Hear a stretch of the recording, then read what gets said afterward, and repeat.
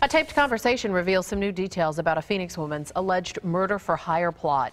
Police say she killed her boyfriend and then tried to get rid of witnesses by hiring a hitman.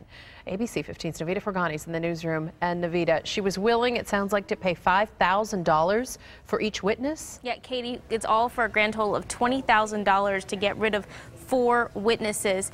And the person she hired, the hitman, was really an undercover investigator who recorded the entire thing. The entire conversation lasted a total of seven minutes. Bernadette Beanes promised to pay that hitman once the job was complete. All four targets were witnesses to this scene back in May. Beanes and her boyfriend kidnapped a woman and her son and held them hostage during a 12-hour standoff, according to police. The victim survived, but Beanes' boyfriend wound up dead.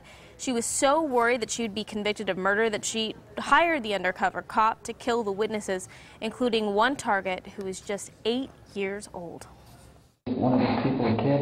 Mm-hmm. How old? Eight. You sure about that? Yeah?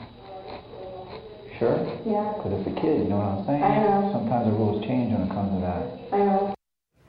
Now, Beanes wanted all four witnesses to be dead by the time her trial started in May. That's what she told the undercover investigator. She also told him that she had links to the cartel and the cartel was going to help him get rid of the bodies. Katie? Incredible, that tape there. Thank you, Navita.